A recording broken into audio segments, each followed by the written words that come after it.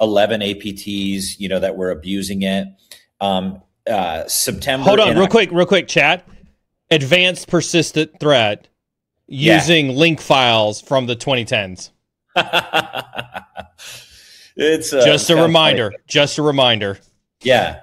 Uh, you know, September, October, um, some Chinese espionage uh, groups were were using this. Um, the they were using a multi-stage LNKs uh, with DLL side loading. Um, so that was, you know, they kind of consider that advanced Yeah. persistent threat. You know, I mostly meant like like like we we we say APT, but like they use the little stuff to get in. totally. And then the advanced stuff is what happens on the back end, but it's not advanced how they get into most systems.